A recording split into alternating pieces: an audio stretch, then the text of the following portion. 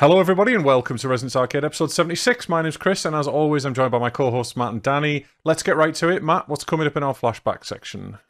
Well, Danny continues to provide excuses as to why he's not playing any games. Chris is currently reliving his childhood in the Switch remake of The Legend of Zelda Link's Awakening, and I've been flexing my Bloodborne skills to show Chris how it's done.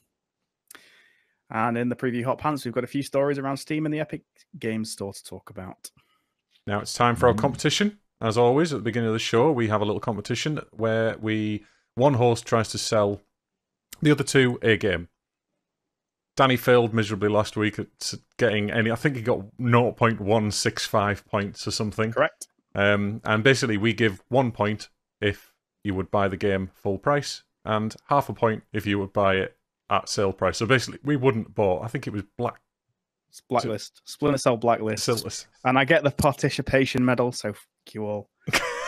The So- participation, you mean a fraction? That's what you got. Yep, that's what I got. So Oh, it is. It is Matt's turn this week. So Matt, what are you selling? Go. What are you buying? Shit, I've got to go now. Go. Oh. It's up. It's ready. Oh, Five Christ, right. seconds. Five seconds gone. You, you're wasting time, Chris. Right. So this week I'm selling Typing of the Dead Overkill. So we all know House of the Dead. Great game. Get a plastic gun, pretend that it's a real gun. Fantastic.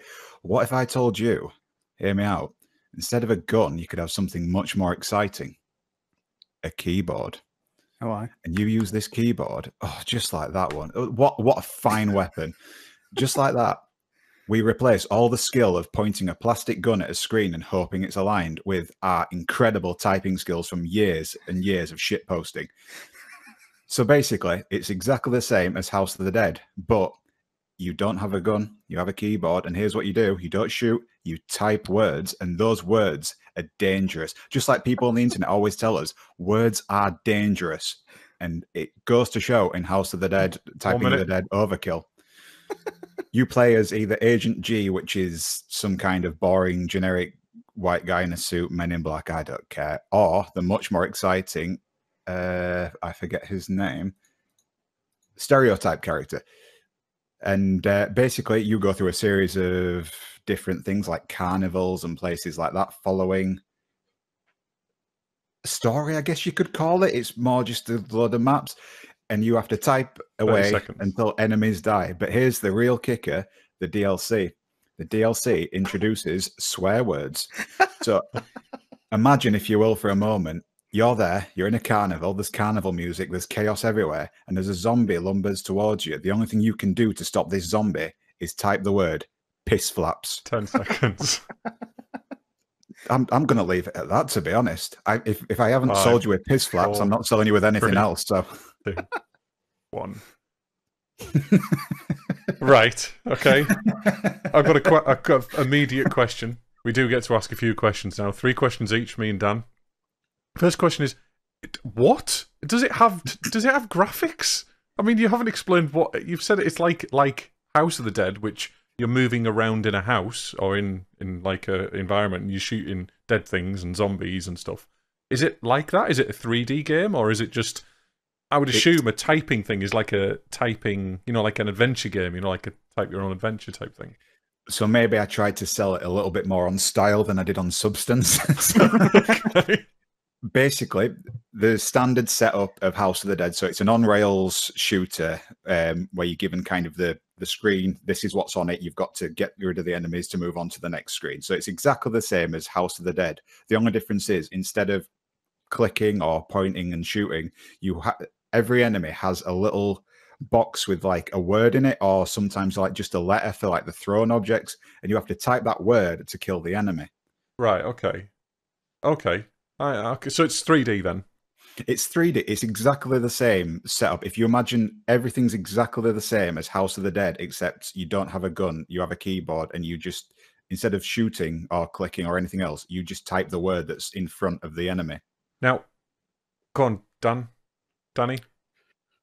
It- Does it? Because I'm going to probably go a completely different direction to what you're about to follow on from. So you might want to go again. Well, okay. So my quick question is: I, I think, if I remember rightly, and I've played um, quite a lot of those arcadey type games in arcades as well. But House of the Dead, I've actually got on my PS2, I think, um, and my Wii. I've got House of the Dead Overkill on my Wii.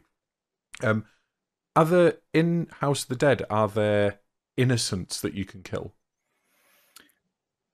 Um, I think you can only kill them through a mission of helping them. So, like, you know, you've got the zombie walking towards them. You can't like see, you know, some woman who's been menaced by a zombie and type "kill woman." Oh, I'm going to say because like if if there was that scenario in typing of the dead, would the, would there be a pop up saying "Don't kill this person" and or "This is the word to kill this person," and you accidentally type it? I, I mean, I, does that have the same mechanic? Do you know what I mean? No, but that would be a great mod if you had two words that were very similar, and if you did the misspelling, it killed the other person. That would be great. Like there, Yeah, there, and there. It's like, oh shit, which version? That'd be great. All right, Dan, Danny. I when you're playing through and you've killed, is it animated much like House of the Dead was? It's not just like a static, like it just slides in and then you type a word and it disappears. I'm assuming there's think- actually some like cool like action sequences to it. Yeah, it's it's exactly it's all the same over the top dramatic. Okay. What what the hell is going on as House of the Dead? The only difference is, yeah, it, in enemies just have a little word underneath them, and as they walk towards you and everything, you've got to type it, otherwise you take damage. Okay. Was it done by the same developers as House of the Dead? I believe it was. So it's it's basically them going, Okay. "This is a new take on the same game." Well, originally they did it for the Dreamcast um, with Typing of the Dead, and I, I think if you've played House of the Dead Overkill, then I, I imagine it's the same story. Right. Okay. So it's the same over the top, ridiculous story, but yeah, you use a keyboard. Danny. Well, the other penalty, like, so obviously you say you got a health bar and you lose health for typing it incorrectly. Like, does it Oh, no, each time you type it incorrect? Like, I get, I assume you have retries. Like, It's it's not. Um, so how it works is say you've say you've been given the word, you know, arse face or something like that, which is a word in the extended dictionary, and you can add your own dictionaries if you really feel like That doing well-known single word, arseface. That- It is no hyphenation or anything. It's disgusting, really. that's it. exactly. In the north, it is one word.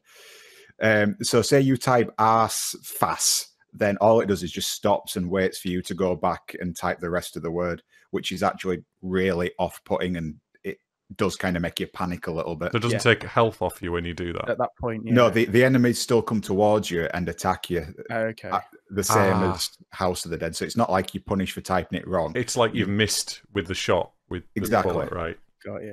Cool. Reloading. Okay. How do you reload? No reloading. You type in reload. No, no, there's no reloading. You just keep typing. So it's not exactly the same then. It's not exactly the same. No. Hideous. My other favorite word to type is pedantic.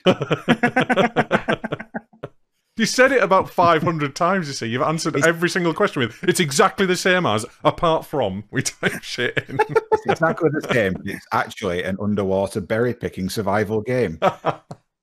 Fuck, Two I points from Chris. Berries Fanatic. Damn it, I'm dead. Danny, you got your last question? Um, no, I think every, that's, I, I, I know what I know what it is now. I- I've got it. I don't- I'm not sure I if think- I've asked all mine, to be fair. I've, I've lost count.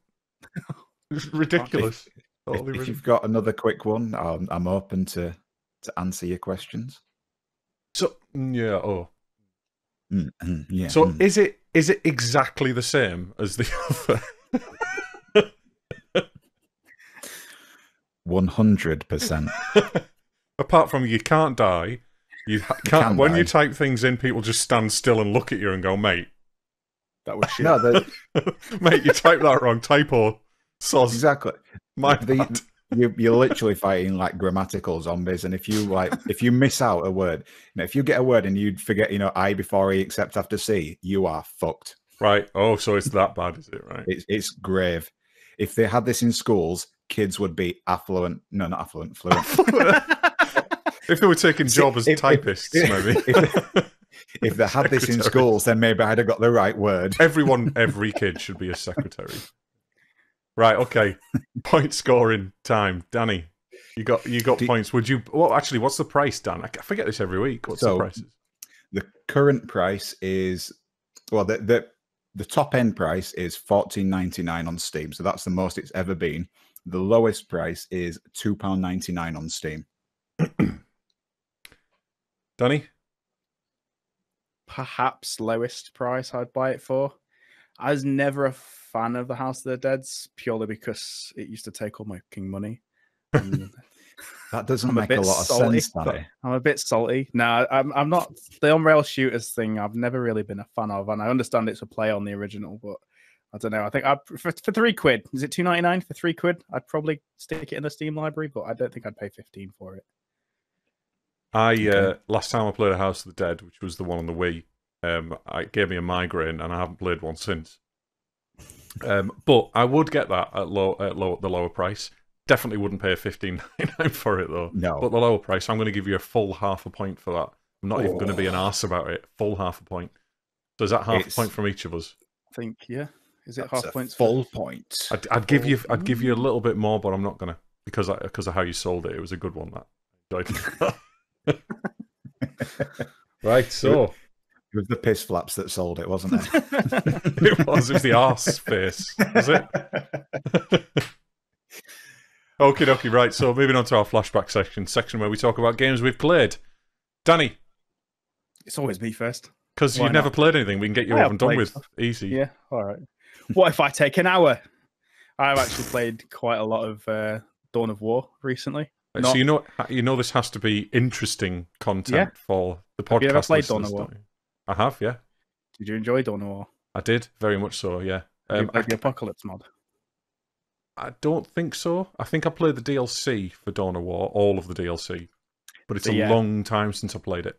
Yeah, we went well. Me and Thorno went back to it. We've been going back to RTSs recently for some reason. I think that's all we're going to do at LAN. We picked up Dawn of War because it's easier than a lot of. I say easier, but also a bit slower. You get a bit of breathing room to kind of pick your battles and decide what you're doing, where you're going. Because we then played Command and Conquer, which is way, way, way different to Dawn of War, and I see that now. But yeah, we went back to Dawn of War, so we've got all the DLC. I played obviously Winter Assault, Soulstorm, and all that Dark Crusade and all that stuff. So we played that for a little bit, and then we went on to what's called the Apocalypse mod, which really opens. So Dawn of War was always sort of criticized a little bit for being like, oh, it is quite a simplistic take on Warhammer because Warhammer's crazy, like deep, especially with the lore and stuff, um, and the units that you could do, and like it was very, very limiting, even though it was still fun. The Apocalypse mod just completely changes the game entirely. It's like rather than it being just a Dawn of War RTS, it takes it to feel more like an actual tabletop game of Warhammer, if you kind of understand that. So you can zoom way out, which you couldn't do in the original game. And that gives it that air of being able to keep track of multiple things. It's almost like an actual Warhammer battle's happening live, as well as the zoom out feature, which is probably the best part of it. There's also the fact that every army that they, well, they've amended all the armies, but they've added some as well. So you start at a, in Soulstorm, it took you up to having the Dark Eldar um, and the Necrons, I believe. They've added in the Inquisition. They've added in Chaos Demons, and I think there's another one they've added, but I can't recall the list quite 100%. Adds entire But they've added in sides. oh Tyranids. Sorry, Tyranids. They've added entire sides from scratch. There was no prior animation for it or anything. They've done it all, these modders, and brought in these armies. And it gives it a whole it, those new armies are a whole lot deeper than the original armies would have been. And they've also expanded upon all the previous armies as well. So whereas Space Marines you might cap out at like a tank or something that was really good you've now got the ability to like make titans if it gets to that stage of the game. So you get r- absolutely shit tons more units more specific units like there are in the actual warhammer tabletop but also way way way bigger tech trees. And that leaves well we've still not explored it all basically but it just opens it up so much more. And we've like completely changes the game so it's com- it's almost brand new to me Is, I'm going to say, is this a new mod though? Is it, or has it been out for no, a it's long been time? going around. For, I think it's been going around since around 2015, but it's Right. still developed to this day. So And this is Dawn of War one or two. this is Dawn of War One. Right. So the base building, hunkering down if you kind of want to game. Dawn of War Two, I although I've picked it up, I've completely different game to to one. Right. I'm not sure I've played two. I'm, Two is more the tactical, the tactical real time strategy. Is it's portrayed. It's more of a you get a set amount of squads and you have to like synergize with those squads. And you've got like a group of space marines a group of like jetpack guys can't remember what they're called. You get a champion or whatever he's called and you get like a heavy bolt squad. That's dawn of war 2 in a nutshell. That's all you get. And you just move around with those whereas dawn of war 1 was obviously just build whatever you can and sort of chuck it at a wall and see what sticks. So I bought Dawn of War. I've got it on CD behind me. That's the uh, original one I bought, and I'll, I'll have played some DLC as well. But I've actually I got it in a pack as well, so I've got Dawn of War 2, but I don't think I've ever played it. dawn of war it's it's okay Is it worth a go? it's worth i'd say Oh, hang yeah. on. I've got Dawn of War 2 Retribution. I played 22 minutes of it, but I haven't played anything of the base game. Retribution. The Retribution is definitely a DLC for for Yeah. Dawn of War Two. Yeah, because the Retribution, I think there's Chaos Rising as well. Um, and I actually have recently picked up Dawn of War Two. It was literally on the night after I played Dawn of War One. I was like, oh, I wonder what this compares like now. Um, still stands up. It's all right. It is. If you kind of love Dawn of War One, it's sort of like a a bit of a kick in the teeth. Right. You like expect a sequel, more armies and and stuff like that, and then it's not. And you're Have you played "Oh, um, played any of the Dungeon Sieges? No, So Dungeon Siege Two was like the the ultimate one. One was okay, but two for me anyway. I know everyone will have a different opinion, but Dungeon Siege Yeah. Two, it's a dungeon crawler, you know, like a, um, Diablo type thing. Um, but two was particularly good, quite detailed, quite deep, and then three was this. It it felt like it was an on rails, really limited. Uh, you know, targeted at consoles with a limited kind of Mm. move set, you know, control set, and it just Mm. it, there was a fixed screen on it. You couldn't zoom in and out properly, and the camera angles are all. It just went. It went like Fisher Price, you know, and it was it was rubbish in Yeah. comparison. I, again, I played very little of it because I, I just couldn't couldn't be bothered. Yeah. But yeah, I assessed. Yeah, I, think, I might give it a go still at some point. yeah, it's it's just that when you Dawn of War One was obviously the first like. As far as I'm aware, the first real-time strategy game that Games Workshop licensed for the I Warhammer so. Forty Thousand franchise. I remember it coming out because I was quite into Warhammer at the time. Yeah, as was I. Yeah, and then when you set a bar like that, and then completely change the, it com- like yeah, just completely change the type of game it is in the second one. I think left people's Left their blood running cold. yeah, like. But then three was supposed to bring it back, and I think they tried. But everybody says bad things about three, but people still have as a game on its own. Dawn of War two, don't try and link it to the first one. It stands on Mm. its own. It's good. It's very very different in how it feels and plays. But we've been playing, yeah, Dawn of War Apocalypse mod, and it is absolutely insane how much time has gone into that mod. Is it good? It's brilliant. Like, it's absolutely brilliant. It's hard to, dis- it's almost like it's not rose tinted glasses because it's not. It's like I picked up Warhammer, I dropped it, and now it's just like it's kind of making me fall in love with that entire universe again because it's it's it's what it needed from the get go. But the amount of time the devs would have had to put into the original Dawn of War one game to get this to how the mod is now Hmm. would have been just far too much. They would have probably never released it. Oh, they couldn't possibly have put extra effort in as, as Oh, a no, real no. developer. Could It's be still being developed, mate, and it would have been just been getting Dawn of War one in 2019, roughly cr- ready for Christmas. yeah, but Um, how good would it have been? oh, it would have been absolutely amazing. So yeah, it, it definitely opens it up and it refreshes the game to the point where it is like, yeah, this feels like doesn't feel like Dawn of War anymore, but it is Dawn of War because it's all Warhammer, and and that's what Can you- recaptured me again. Can you install the mod uh, via Steam, or can you install it in the Steam directory if you've got it on Steam? The mod is a bit of a pain in the ass to install, but Thorno's kind of everything we've been modding, he's been keeping a collection of. So, although that's not useful for anybody outside of the podcast, but although you can message in if you want it, we can sort you out. But Oh yeah, no no no! We can't guys, say that. We can't say that. not? It's a it's can't we? licensed and and owned. no, no, no, and- no, no, no. Like point them to the links where you get the oh, mods Oh right from. right. I'll let. Yeah, Resonance not like Arcade not does give not you a free modifying game. your games. Juarez. We don't do Point you to links where you can get the correct things. What I'm saying Wa- is, Wow, Ed.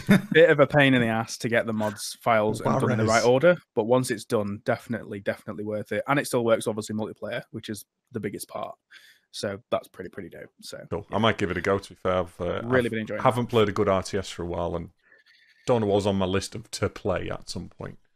Have you been playing it um, co-op or com like We've been doing each comp stomps, uh, co-op comp stomps. Um, the AI is improved as well. That's bullshit. Like ridiculously hard to beat the AI on anything apart from easy. Like they are poor. No, it, do you know when, when, when we've talked in the past on the podcast about RTS guys and how they might have like keyboard shortcuts and all that shit? It's literally like playing against someone like that. It's just like you're just about to p- spin up your first power generator and they've already got fucking 10 million orcs and a tank rolling your way, and you're like, what? Yeah. How am I supposed to compete?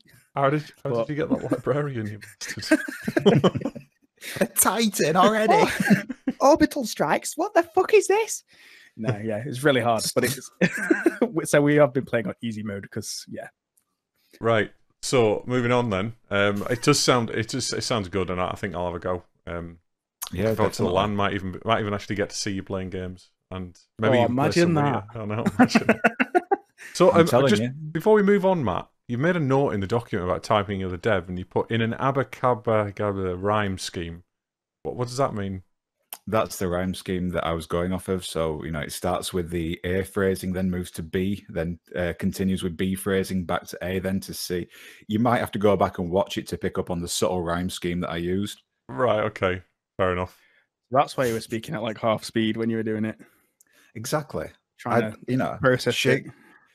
Look, I'm bringing a Shakespearean thespian vibe to the podcast. A very wrong with subtle one. A very subtle one. I was going to say It's that. so subtle, people won't find it for years. We're looking back, finding the Easter eggs on our episode seventy-six for eons, We'll have our own subreddit. Do you, do you remember episode 76 when Matt did this rhyming scheme? If you go back and look now, you'll be amazed. He's dead now. what episode are they on now? 78. so right, Matt, what have you been on with this week? So I've played a couple of things this week, one of which I picked specifically because you were playing it and I just kind of wanted to get back into the space of it and because we talked about it a bit last week and Mm. another one because it's been sat there for a while and I wanted to kind of give it another chance. So I'll start with that one. Um Red Dead Redemption 2. And it's the game yeah, it's, it's the game that I really really want to like but it won't let me. It is It- fucking brilliant, but fucking awful. I wish it would get out of its own way. That it, it- honestly, the, the biggest issue is they've done so much. It's like, look at this, you know, gorgeous animation of a man, you know, bending over to rifle through another man's pockets. Now watch it 15 more times while you get four bullets out of every single person's pocket that you've just shot. It's it's a technical achievement, but it's not a gameplay achievement. It- It's not a game. It's that the the problem I had with it is that it, it's it's a, yes, absolutely wonderful to play, but it's not fun to play, and that's Mhm. where my enjoyment stops. Sorry, obviously my enjoyment stops when there's no fun. dickhead. Um, it's it's it's a film. You know, we're playing a film, and and even the story wasn't that good. Really, it was a little bit. It was too drawn out for me.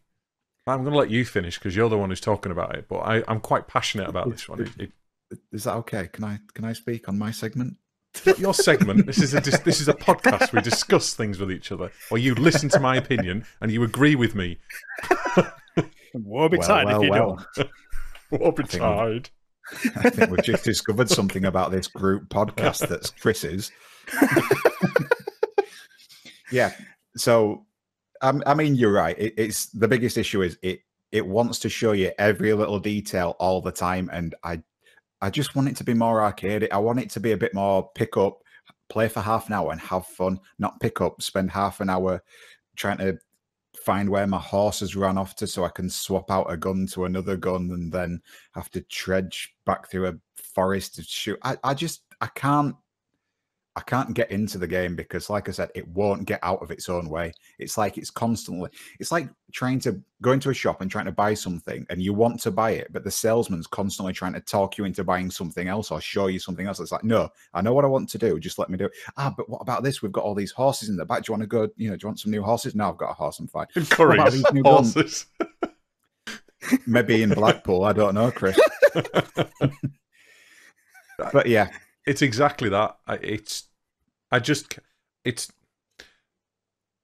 I, th- I, th- I think the immersion part of it is wonderful. The fact you are in a cowboy simulator, the fact that you're you're completely 100% immersed in this world, and if you want to be a cowboy and you don't want to get your chaps on and and you know run out and do some live action stuff, it's a great it's a great getaway.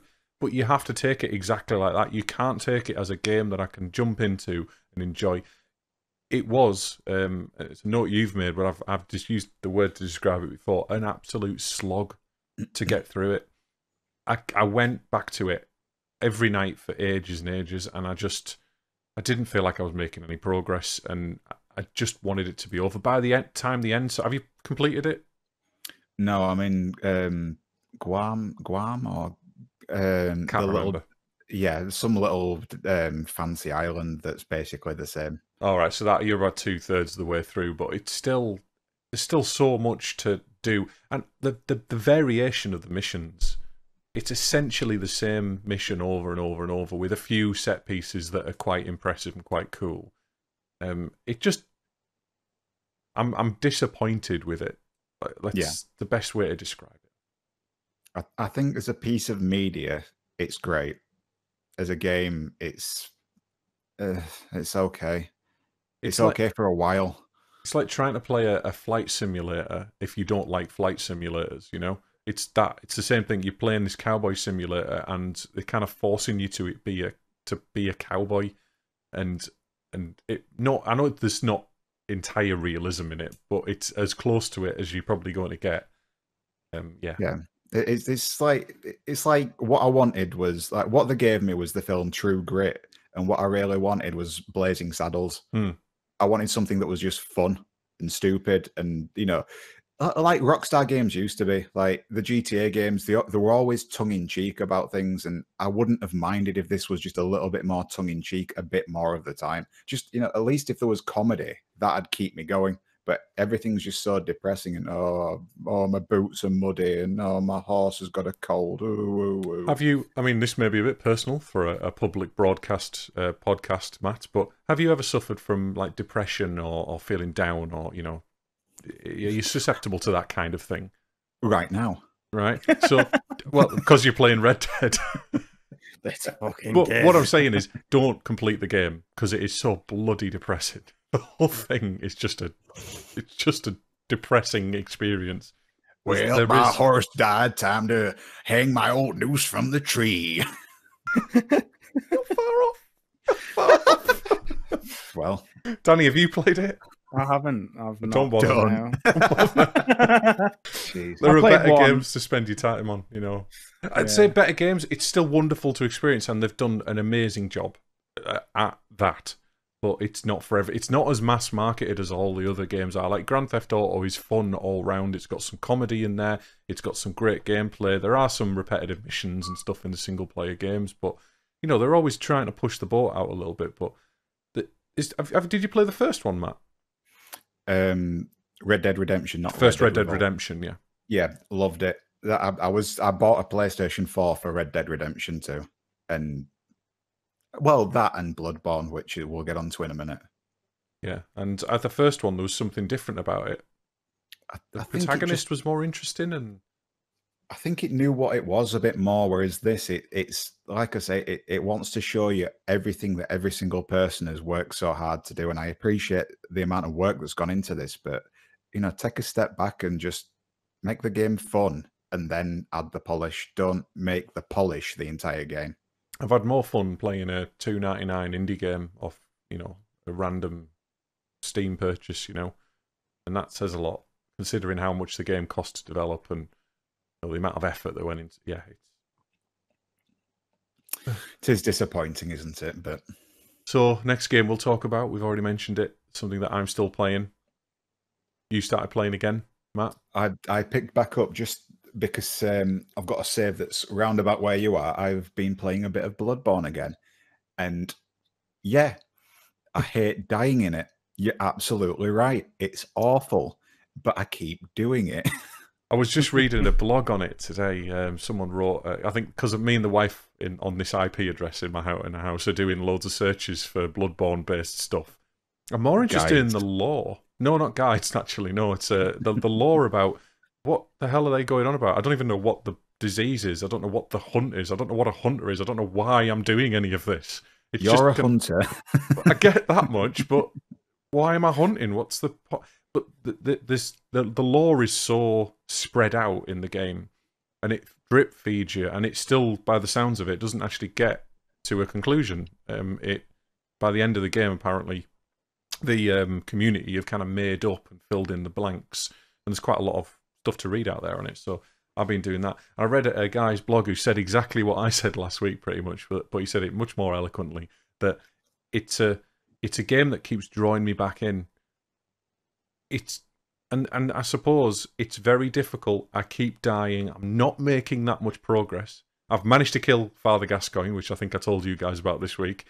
Um, moved on to the next area. Pretty much nailed the next area. Didn't get killed by anybody because I kind of got the flow of the general combat with the standard enemies.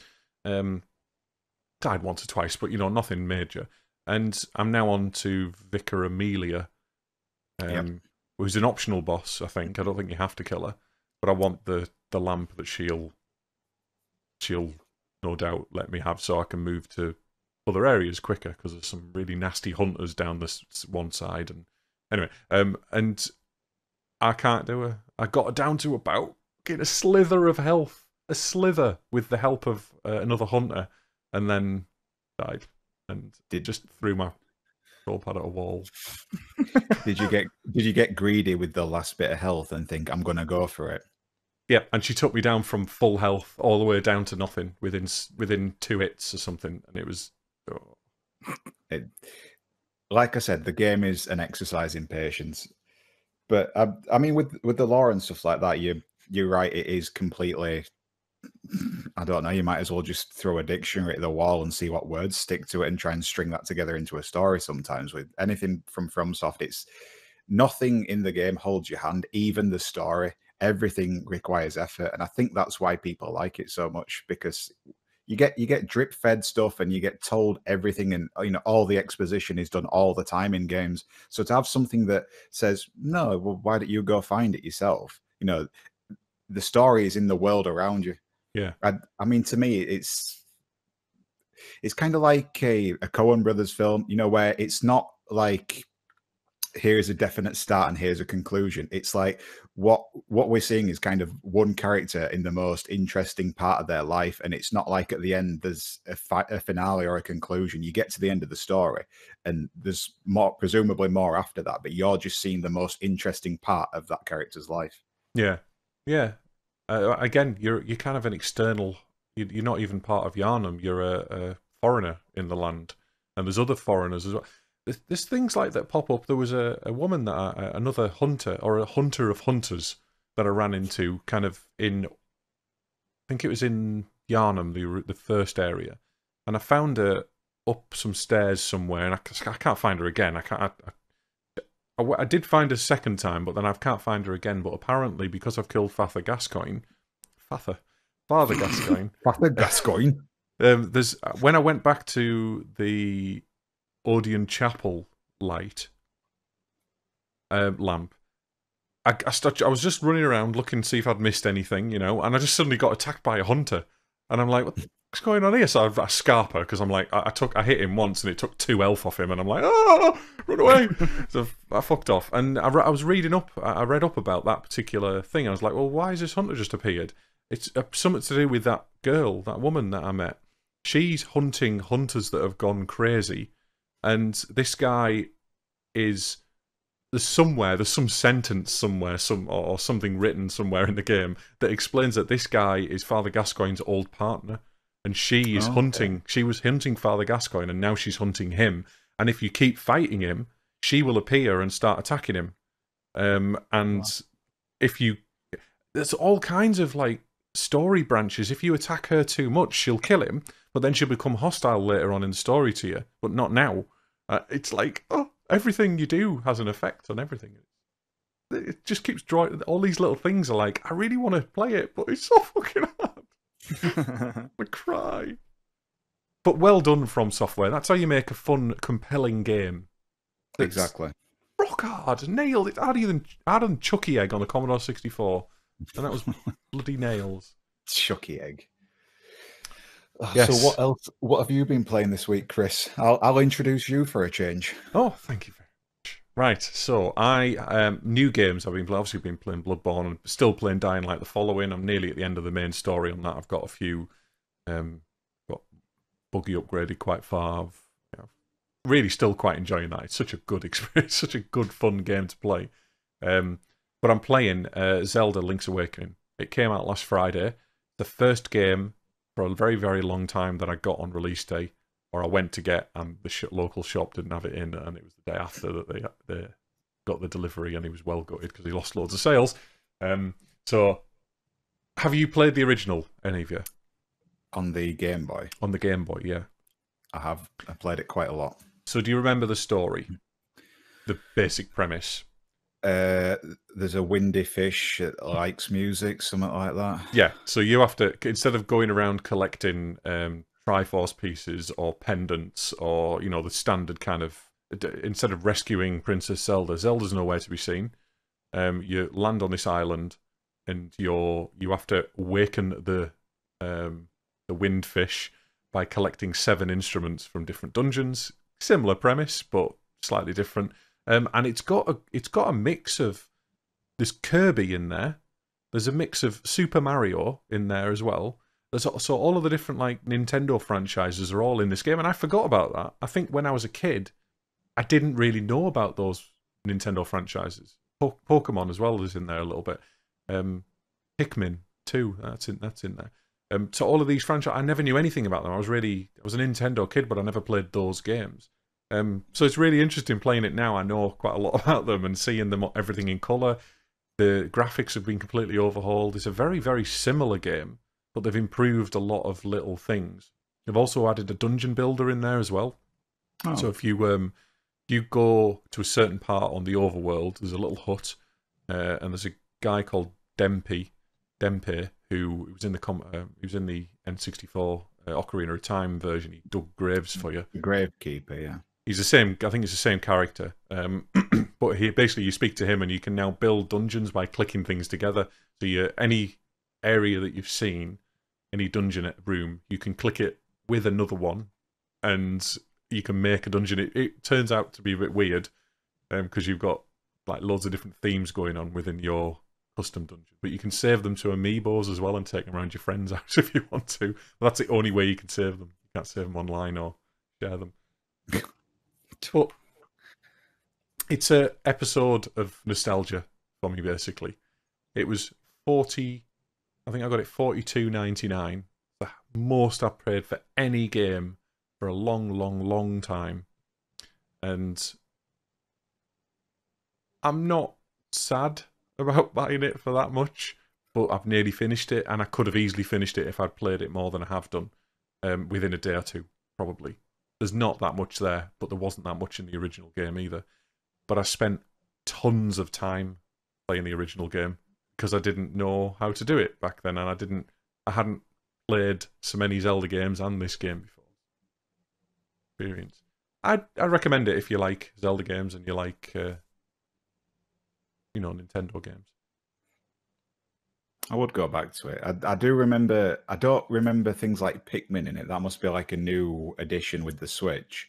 I'm, Um, I'm not 100% sure of Pikmin because I don't know that world that much, but I, I think I read somewhere that there's Pikmin in it. But Kirby's definitely in there. Um, and there's def- there's like Goombas and there's. Was there a, a side scrolling element to. there was a there was a couple of little sections that were side scrolling, yeah, but it, it was typically typically like I think you'd find little trap doors in dungeons, and if you went down them, then it went side on. Yeah, it's the same in this. I don't know if they're the same or there's more of them or there's less of them, but it's again, it's basically you around jumping on Goombas and go from one area to another. It's just another way to traverse a dungeon. Um, but yeah, I, it- it's it feels very very familiar, very nostalgic, and it's great. I love Nintendo games. There's no mess, you know. There's no fuss. It's just pure fun, and you know kind of what you're gonna get. And there's very few bugs in them as well. They've got such a very good QA system. Yeah, Go for it. I'd recommend it on the Switch. Get it. yeah, cool. Other than that, I've been playing uh, a quick uh, game yes last night called West of Loathing, indie game. and it's a you can look at it as a, a kind of a it's a stick figure point and click adventure game.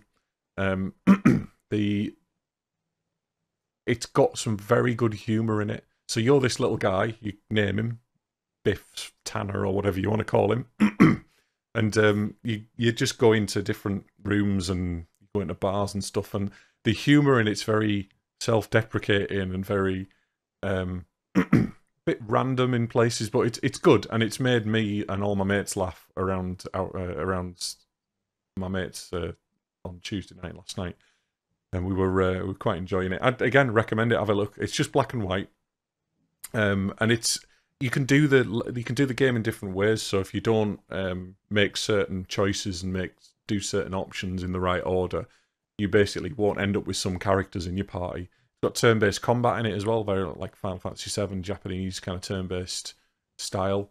Um, you fight for some reason. Meat is the currency in the game, so you you get meat and you use meat to buy things. Um, and cows are the enemy. Yeah, cows are the enemy. So there's like hell cows all over the place. and I'm a snake oil merchant. I've chosen that as my class. Um, and I've got a briefcase full of snakes.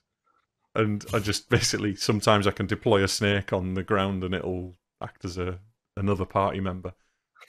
Are we talking like MS Paint levels of Absolutely shit, but brilliant at the same time. Right. Okay. It's it's really it's there's a lot of effort's gone into it as a game as well. Um, I did try it when I got it in like the Steam sale this year, very briefly, and I thought, oh, I need to. I could see how deep this might get. I need to spend a bit of time on it. But last night, I think we played it for about three or four hours, and uh, yeah, we were all laughing. Every, every the the interactions and chats you have with people and stuff is good, and the score's quite good as well. Uh, score's done by a guy I know, which is uh, another reason I got it because he was touting it and kind of pimping it. But it's um, yeah, it's good. Okay. Hmm. Right, so should we move on then? Unless there's any other games that you've played that you want to talk about. Danny, have you played any games? Any other games? Ha ha ha. No, you were saying that you were playing one. I think it was called War of Dawn. Uh, Yeah, that's it. War, War of Dawn. War of Dawn You're playing Cheap it in Chinese. reverse. knockoff. Yeah, I just So who is Dawn? I haven't finished it yet. I can't even. I can't even. Sorry, you on the spot there. War of Dawn. She's she's having a shit time. Nah, the only two, the other two games I played recently are Dawn of War one and two, both of which I've discussed. Shadow of Mordor, I've kind of dropped. It's pissed me off. Mm. Yeah. Have you found the microtransactions then? No. No, he died. Quickly to jump onto it, what really fucking annoyed me in that game is like, it's like, okay, cool, go find these generals, and then you're like, okay, cool, right, I can take the time, I can like plan this and go through it. I don't know if my game's fucked or what, but I was in a battle with a general, killed the general, and then there was another general who like instantly, in, you know, like when you get insta locked into another like cutscene. Mm. I just turned around, insta locked into that guy's cutscene, and I was just like, "What the fuck is this? Are they trying to find me, or That sometimes happens. Yes, they do. That sometimes just- happens as part of the game. I thought it was my role to go out and find them. And No, no, they, they that's the that's the nemesis system. They come and find you as well. right. But you can avoid them sense. if you see a load of orcs and you happen to see one that looks a bit different. Usually, he's a general or a sergeant or whatever. Yeah. and uh, yeah, you just run away. But you can run away from them. Don't worry, Danny. You you don't have to fight them. No, I don't back down. I've fucking ruined his night. So you got annoyed because of the game mecha- you didn't you, you thought the game was too intelligent. No, I like no, not. I thought it was bugged. Is like I just couldn't understand how I'd had three interactions with like basically I just fucking threw everything at me at once, and I was just like, surely not. Oh, it's too Sure, I- stressful. Surely I can This just have a bit has of a too much game. Surely I I, can like take my time to hide in a bush and fire some arrows off at some fucking unsuspecting orcs. Nope. All right, mate. I'm here to stab you up. What's up, mate? And it's just like, oh, not a fucking again. Here we go. And I put it down for a time being. I'm just gonna leave it there for a bit. You'll never go back to it. I will. I will. No, you I know. That, promise that. oh, it- that- now I know it's a Dark Souls wannabe. We can. It's go. nothing like Dark Souls. How Ruin- dare you? Wow. How very dare you?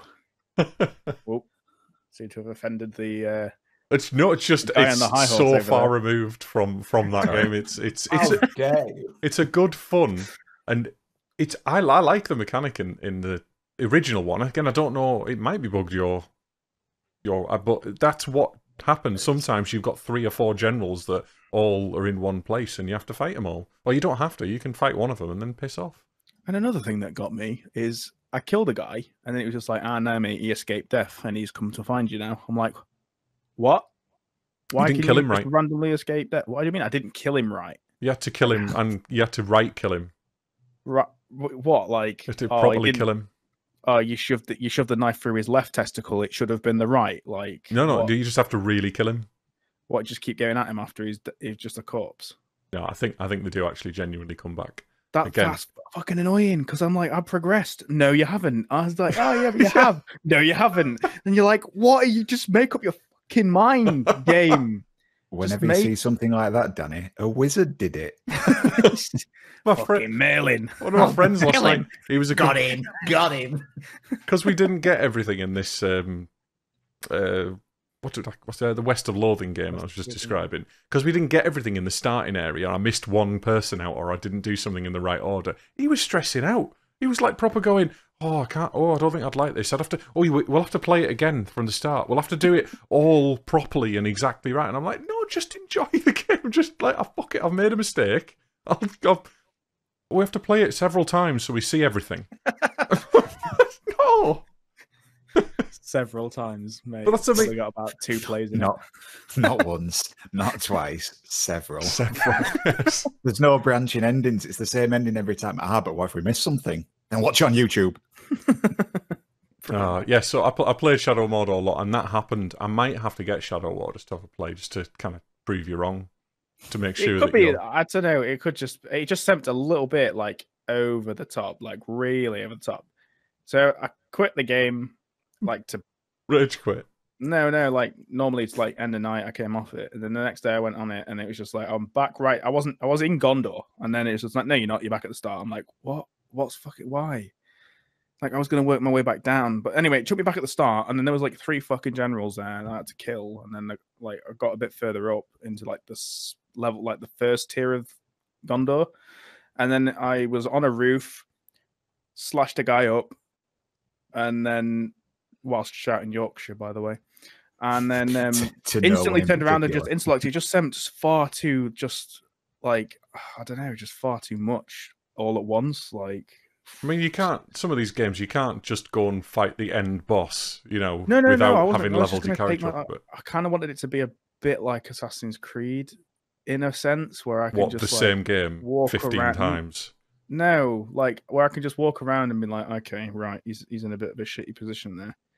Like, I'll wait. Nah, You- mate, he's I- got his I- binoculars out looking for me. I, I think like, I get what? what I think I get what you mean more now. When you said you wanted it to be more like Assassin's Creed, that kind of makes a bit more sense. Other than just there's too many enemies, I don't like it. Yeah, it's not like I don't mind because the combat system, like in like you said, it's like Batman. It's the same thing. It's like yeah, you can you can just bounce off enemies all all day long, but kind of like it just gets a bit boring after a while. After you've just got a crowd of orcs that you give, you want to try some different stuff and like try like picking them off with arrows from a distance or whatever it is. there are Just like different- change it up a bit. There are different types of missions as well, though. I mean, I don't know if you've unlocked them all because you don't just get them in Shadow, Shadow Mordor from the off. You know, you have to open them all up, and Oh yeah, yeah. You've got to go like interrogate people and bits and bobs to find out different yeah, you know, generals and whatever else. And I was doing that, and then it was just like, okay, I found him, target him, and then I just completely come across a general I hadn't found yet that I hadn't ID'd, and it was just like, who the fuck are you? Like, what's going on? Gormuk Ugface. What are you looking at? and it was just, yeah. I'll, I'll pick General it up again. I'm- don't know. I can't. I really can't be able to start a new game if it is bugged. I don't know. Someone It's else wants to play it and just see. I don't, I've never The- played one, so I didn't know what to expect. The thing is, if if I played it, I wouldn't get the same experience as you. I might go into Oh, an yeah, yeah. area and there might be one general, or there might be none. You know, I think I think they're in certain areas, but then they'll start moving around once you've experienced once you've found them. If you've got if you've really pissed someone up or off, or you've run away from them a number of times, they'll start chasing you down and they'll start coming to get you. Or if you, I can't remember if you run away, maybe they won't come and get you. But if you've killed them or you've tried to kill them or they've killed you a number of times, then that affects how much they want to do you in. Yeah. Which is So that was what was that's what kind of it's good. It's good in like yeah, in on paper. Like what threw me though is I'd hardly done anything. I just basically got to the point where I was like interrogating worms, as they're called, like using the mind thing, like, and I'd not done anything to mind trick. anybody. I might have stepped on a blade of grass wrong, and he was just like, "Oi!" But like, I'd not attacked anybody, and it's just like three guys come looking for me all at once, and I was You like, know the um, you know Lord of the Rings, yeah. You know, Hmm. you know when you go into Mordor, you shouldn't really Yeah. be there. Oh, yeah, I you know, I get shit that, happens in Mordor, yeah. I get that, but it's just like it just seemed unnatural as to how many generals were in one area at one time, and it was just what? Orcs in Leeds would be fine. Yeah, yeah. That- That'd be natural, would it? There Yeah, are fine. there are a few of them.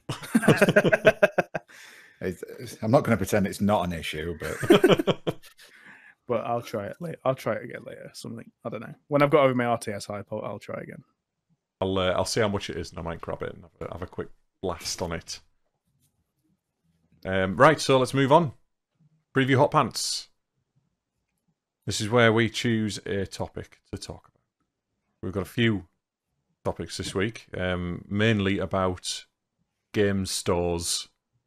One about Mm, Steam, one about Epic Games. But the Epic Game Store, that, that one that everybody loves. I'm afraid I've gone to the dark side and I've installed it. oh my, have you been playing Fortnite, Chris? I've taken a step back from this entire Epic Game Store thing. I just see like people shouting about it in this corner and people being like, "Don't be such a sheep" or whatever in the other. I have no idea why people argue about this. Like, what? Can someone explain to me what they did wrong? They spent money to buy exclusivity on games, and, And that's people people don't annoyed. Right. people don't like that. They but s- at the same time, you know, they've got. I, I don't want to say that I'm. I, I don't want to say that I agree or that I disagree. I, I don't particularly think it's a great business practice in terms of like boosting your image, but at the same time, it does make sense for them to do it because, I mean, I guess consoles have been doing it for years, buying exclusivity on games. You know, funding developers to make sure that their console gets that game. Yeah. So I, I think it's basically just Is it because finally kind of hit PC. Yeah, is it? I was gonna say, is it because they prodded the stick at PC and it's just like a knee jerk? Ah, why are you touching our shit? Like, fuck off, go away, kind of reaction for the most th- part. I think so. I, I mean, I, I don't, I don't really know why people are so mad. Like, it, it seems to be a bit out of proportion. Like, yes, it's a shitty business practice. You know, it's it's anti-consumer because if you can, if you've got two stores selling the same thing, they might discount it more to make it more appealing to you. One store, they can do what they want. So yeah, it's shitty from that perspective, but at the same time, I think I think the outrage is just for outrage's sake. Yeah. Okay. Uh, the, the the issue that I've had with it, uh, the the thing that kind of drew me to it this week is I saw a few posts on Reddit about people. Sorry, let me dial it back just a little bit. Epic have been offering um, six free Batman games just just for having the launcher. You can just attach them to your account. You get six. I think it's the Arkham series and Lego Batman. Oh. So- I didn't realise Get him was on a the nice, download. Judas, Judas. I probably got them all already though. I've got I got like a Batman pack on Steam years ago. Like I've already got them all on console as well, but I've never played them on uh, on I PC. might, I Might might as well have them for Games launches. Yeah. But the the thing that kind of drew me to it this week is people have been in protest of Epic have been going on the Steam store and buying the games and like why does that really fix anything? Why don't you just get the games for free on Epic and spend your money on something else and that way you win like both sides? You're supporting Steam, uh, you still get more games. I I just don't understand. because people are dicks. That's petty, isn't it? It's, It's not petty. It's they're, they're trying to prove a point. They're trying to prove a point there by saying, um, "I'm, I'm still supporting Steam." Yeah. That's what they're saying. They're saying I'm still supporting Steam. Valvar, the the, the our masters, etc. I. It doesn't. You're not serving anybody by doing that, right? Epic obviously. Epic have done as any game dev, big game developer in the world. They've done lots of things based on commercialism and based on um, trying to make money as a business. They broker these exclusive deals. They created the Epic Store not to create competition, to to create money for their company. It's simple as that. People don't like that. People do not like capitalism. It's simple as that. It, it, and I can't, I just cannot see how it makes that much difference. If if anything, my only problem I've got with the Epic Store at the moment is that um is that the launcher is shit. It's awful. But Yeah. I get free games on GOG. I get free games on Humble Bundle. I get well, that, actually that goes into Steam most of the time. I get free games all over the shop. Kinguin, for God's sake, occasionally email with me me with free games, and you know they're not quite as G, bad as G2A, but they're nearly as bad as Hmm. G2A. You know, but I'm a consumer. I want if I can get free stuff, I'm going to get free stuff. You know, I don't Exactly. really care where it is. I'd like everything in Steam. If worst comes to the worst, I could just add them to my Steam library. You know. Or get this, guys, we could all just go back to desktop shortcuts. Imagine that. Thank God I've got two monitors. got, got 400 games in my Steam library. and then I could really put that bookcase that I've got sat outside to use and have a fucking library full of games. I joke, Jewel there'll be about two on there. I, I still haven't taken the plunge with um, consoles yet. Um, going into the digital world with consoles, I've never bought a game. I've downloaded a few demos um, just to have a go of a game before I bought it, but I've never. I've every single console game I've got is a physical copy. I'm aligned on that. This, I think, pick this apart all you want. With me, with a console, it's a fight. It isn't. It isn't. it? It's a finite like device, isn't it? It only lasts so long before you kind of like it just gathers dust a bit more and more and more until you never use it again. It's just like, oh, cool. There's an Xbox 360 over there. I'm not going to turn that on anymore. I kind of loathe like buying digital things for them to say, I've got two Xbox 360 hard drives in the other room. They probably got shitloads of games on, and just like remembering that there's like dead money in there. Like I'm never going to go touch those games again. It like it's just like oh, I don't want to do that. I'd just rather have a physical copy. So if I can.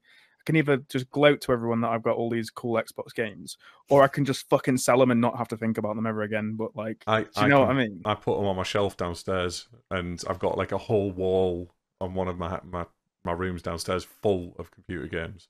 Yeah. Um, but that's all it is. It's just a trophy cabinet.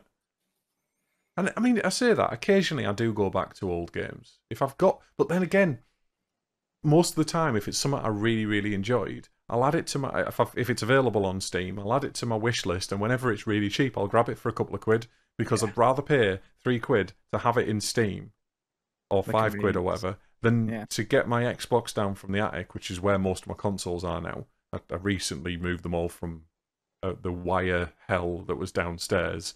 Um, I've got a, like a, a proper custom made cabinet that I put together that's got loads of compartments for all of my consoles. Put it all together, put all the consoles in, and got fucking sick of all the wires and just archived them all in the attic now. Um, Nice. but instead of do, getting that, getting the, the console down from upstairs, I forgot to say, my mate's asked me, can you bring your Wii round? Um, it's there. It's easy to get. It takes me five seconds to go in the attic, open a box, pull the box out, take it out. Inst- I'll be asked. I'd rather Yeah. just click a button and play a game, you know? Yeah. Convenience.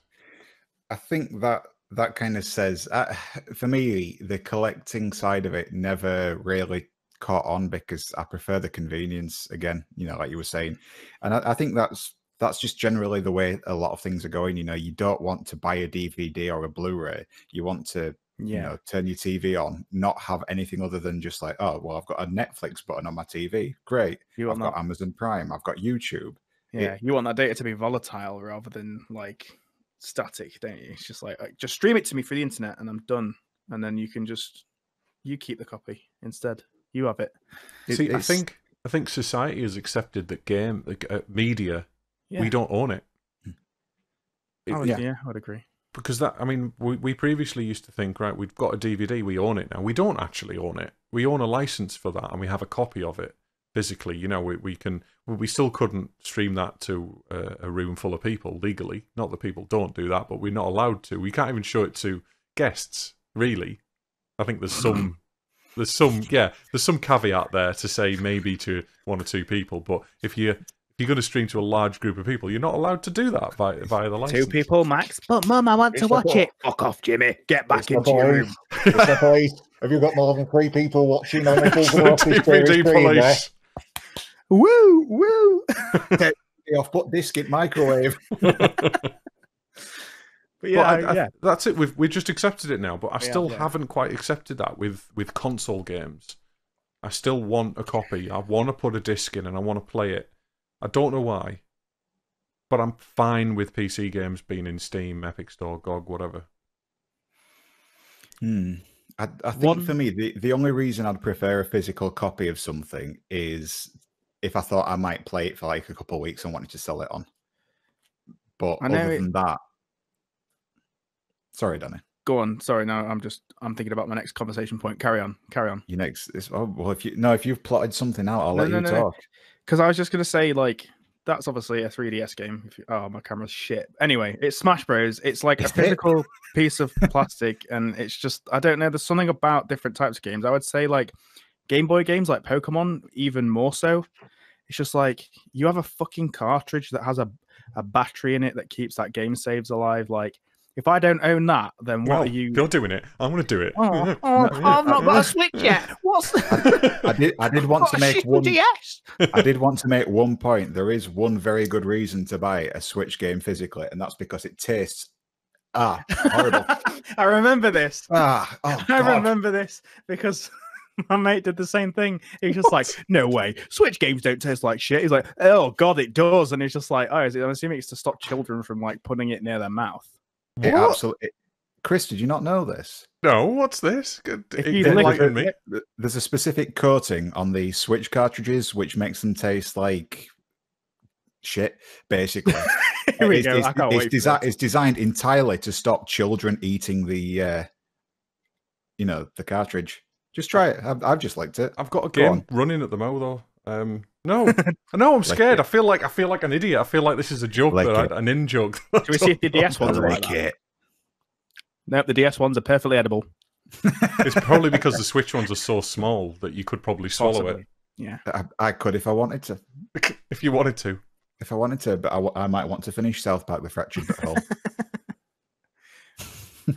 In my digestive tract. but Right. yeah, So I think yeah, my I point think- it wasn't a good one, but I think my point there was just like like yeah, with games and stuff, it's there's something about it. You get a manual, and you get sometimes you get like art with it, and it's like a whole thing. There's a whole process. You like unwrap it from the cellophane, and it smells amazing. It's just like that's mine now, and it's just different to like a DVD that gets watched once and forgotten about. Do you know what I mean? There's something, yeah, something going on there. we did used to get physically. we did used to get fairly comprehensive manuals, as you, you're right. You know, I've got a, a, a Skyrim map um, to Yeah. to my left. Um, that was probably the last big game that I bought on disc for for PC. Um, and I got loads of stuff with that. You get like, oh, this is all the controls, and this is all of the races in the game, and this is what they all do, and why. And but these days you've got the internet. Mm, But again, all that information is not yours. It's not owned by you. And if the website goes down, it's gone forever. But is that ever going to happen? We've got that many, that much redundancy and that much backup. I would say ever. You know, an EMP could take us all out, couldn't it? solar flares, and pretty True. bad shit. Yeah. I think the you know that losing your uh, manual for Skyrim is the least of your concerns if the entire infrastructure of the UK was to suddenly disappear. I disagree. I could burn it for fire.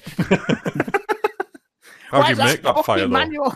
As long as you don't burn it onto a DVD. Stop right there, criminal scum. you want to download a car? By the way, right, the thing that the thing that makes me laugh about that, you know, that I don't know if it's still on. Do we even have DVDs these days on rentals? You used to have that that if well, you wouldn't steal a car, you wouldn't. That right, that is not on pirated versions of the DVDs, is it? So, what's the fucking point of you're putting me through this? I can't skip past it. I've bought the fucking thing, and you're not letting me. It's just come on, mate. No wonder people pirate shit. I pirated it. Why? So I didn't have to say that shitty you wouldn't steal a car advert at the beginning of my fucking DVD. I paid the money and I pirated it. I'm sure someone's made that observation before, but come on, guys. I, I bet people have said exactly the same thing. Like I download games on torrents so I don't have shitty DRM to deal with. yeah. I mean, that is a, that is a problem, DRM. You know, I have to be logged into Steam whenever I'm, I want to play a game that's on Steam. There's nothing I can do about that unless I happen to have got a Humble Bundle with a DRM free version of it. But I wouldn't do that anyway because it's not the convenient thing. And I like streaming shit downstairs on Steam. Epic Game Store, I can't do that with. Add it to my Steam library, maybe. No, I haven't tried Mm. that. Anyway, I got the Epic Game Store because I wanted to try things like the Outer Wilds, some of the exclusives that are not the Outer Wilds, Outer World. World. Worlds. That, World. that looks really interesting. That game to me, you know. There's loads of other ones as well. Like um, what's that building one? That is satisfactory. Yeah, I I would still recommend that, particularly if you want to buy it before land, because I would like to play it with somebody else. right. Well, I'll get it because I've I've been waiting for a reason to get it, and uh, I'm up for that. Have you got it, I haven't got it. Matt? I, I've got it. I've, I've Alright. played. I've played a, a decent chunk of it. So you're an Epic Store scum as well, then? I am. I'm. oh, right. I didn't. I'm. I'm a scab. you're a Yeah, I said it. I crossed that picket line. Uh, right. Anyway, so other news we've got to talk about is um, Steam has been uh, told by a French court that they are in contravention of EU uh, laws by not letting people resell or sell their games on after they've finished with them. Apparently, Hon, we hon, hon. sorry. Hon, hon, hon. Oui, oui, baguette. You, did, you didn't do the Oh. accent. Ho he ho he ho. Right. Yes, I get you. Yeah. well. No, that, that's Try a and keep the racism ambulance. off this podcast, please. Thank That's- you very much. I'm, I'm not being racist. I love the French. Well, I don't, but that's beside the point. Um, right, so and to any French listeners out there, it was a joke. Bonjour. Bonjour. We're really good at Bonjour. Um, right, so anyway, so a French court has ruled that Steam is in contravention of the EU laws by not letting people resell their games. What do you think about that?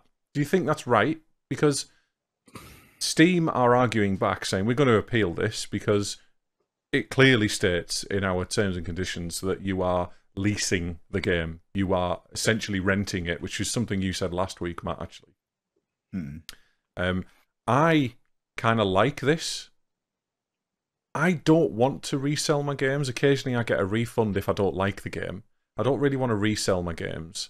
I want to build a library personally, but I can totally see how other people would want to. If they've paid 50 quid for a new release and they've went past the two week period on Steam on or they've played it for more than two hours, but they don't want it anymore, they could have got a physical copy of that. Yeah, but Could there's they? always there's always been that issue with PC games about reselling them. And you know, it's it's something that like secondhand PC games died a death with Steam anyway. And I- also, you can make a copy, a physical copy of that, and you've or if it's an online um, registration of some description, then you know you can't resell that game anyway mm, because you've already registered the code for it. Even if it's not Steam, if it was like a proprietary one from years ago, I'm thinking of like Unreal Tournament that kind of thing. I mean, I can see from like a consumer standpoint, there's a very good reason for us to want to be able to resell games. You know, like you say, if you buy a game, you might play it for, you might play it past the two hours or you know two weeks. You might play it for ten hours, finish the game, and think, oh well, that was good, but you know, I, I want some of that money back. Why can't I sell it on? And to be honest, I don't think that's necessarily a, a bad idea to sell it on because if that's something that can compete against um, you know grey market key sellers like G2A and Kinguin and stuff like that, where you don't really know exactly where the games come from, at least if it's going through Steam and you're selling a second-hand copy of it, there's some legitimacy to it.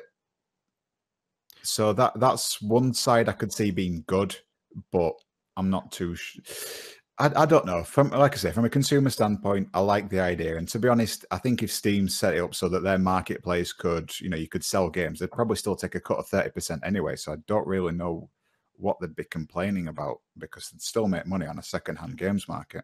I feel like It's the administration, I think. yeah, as well as I feel like people would use that system.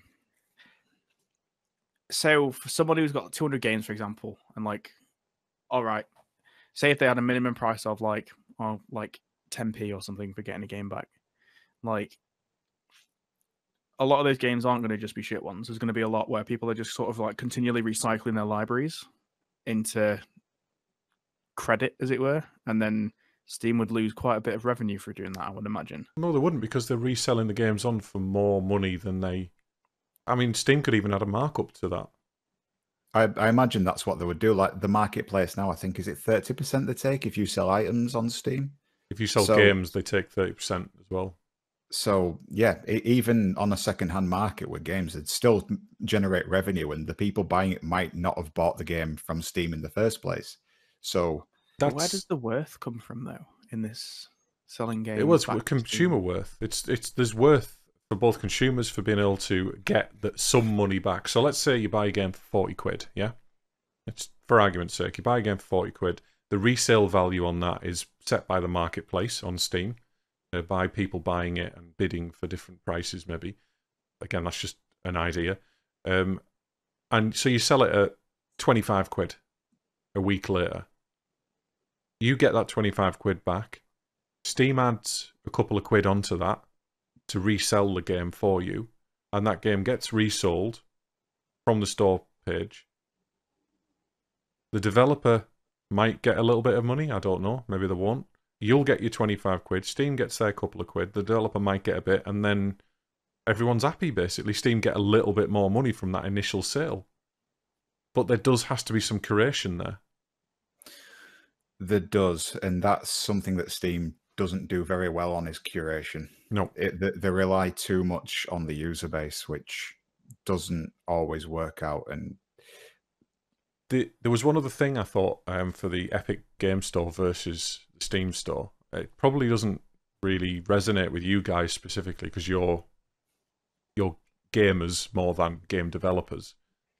But the game developers pay much less um, commission to Epic Games than they do Steam. Steam is a 30% cut, and I can't remember what it is, but it's something like 12, 13, 15% or something like that for um, for selling your game on Epic Store. But arguably, as a indie developer, you're not going to make as many sales on the Epic Store because it's not as popular because people do boycott it and people there isn't as many users as there is on Steam. However, this does create competition, as Matt said a number of times. So we're we're it's it's good we've got this competition from from all levels, but I don't know how far it'll go. I don't I can't I can't gauge it yet. But getting exclusives is definitely the way to go. Sorry, I kind of hijacked that then. Went back to an old point. no, it's fine. Yeah, You- it's You work away, Chris. We'll be here to support you. it's fine. so yeah, I think um, going back to the uh, the point on uh, on the French courts that have, have have declared this, I I personally don't know what to think about it. I'm I'm torn. I think it could work. I think Steam need would need to put more effort in, or not just Steam, everybody. Because if it happens for Steam, the biggest you know the biggest PC retailer, it will have to happen. fit. Yeah. It will have to happen for GOG. It'll have to happen for Humble. And it who, sets a precedent. yeah, and who would who would actually because things like Humble they resell keys. Would it would it be Humble that would be need, need to create that and res- and allow them to resell because the consumers purchased from Humble. Yeah. and then it's been sold onto Steam, or would it be Steam that would have to curate that? Would you be able to sell a Humble game that you Humble key that you've bought via Steam? All of these things have to be thought about, and this is what what creates a complexity in the administration around it as well. So think Um, on, guys. I'm curious to see what happens with it. Um, Nothing. Also, does Steam nothing. even give a fuck just because some French court said we think you're in contravention of EU law? Well, they have to because it's law. Um, uh, they In have to at least own- in the in the EU. They do at in the least, EU? Yeah. and I imagine their EU sales are not equal to, but probably you know not too far away from their US sales. Possibly. I mean, it's a big But does- market, so a- Mm. any ruling like this could, you know, severely impact how much money they make. One percent is a is a big impact, you know, and this could be 20 30 percent of their revenue base, uh, and then there's all of the developers as well that that sell their games on there. I mean, would it be the developers that have to deal with the fallout from this? That's how it, and that's how Steam will end up wangling it if they have to.